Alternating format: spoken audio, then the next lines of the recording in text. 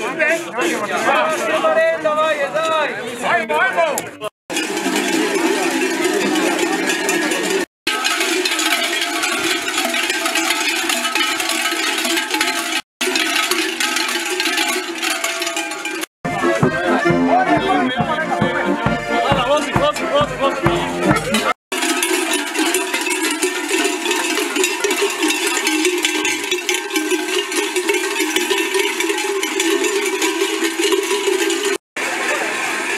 ustavi jingle bell in me spozvonal.